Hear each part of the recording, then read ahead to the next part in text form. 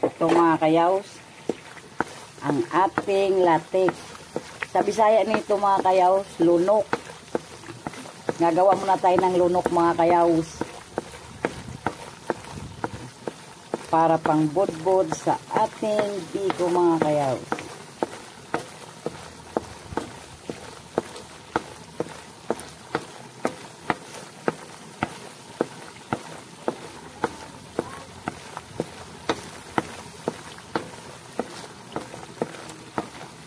Haluin lang ng haluin mga kayaw.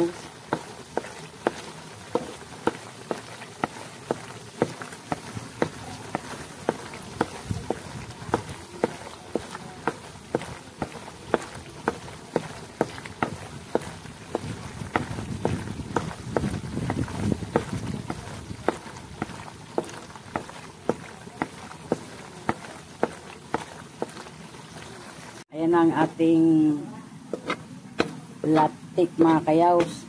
Ang lunok sa Bisaya.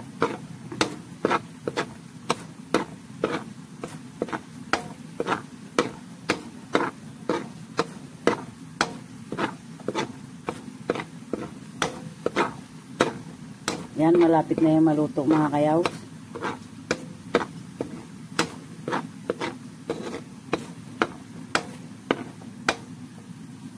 yan mga kayaws luto ng ating latik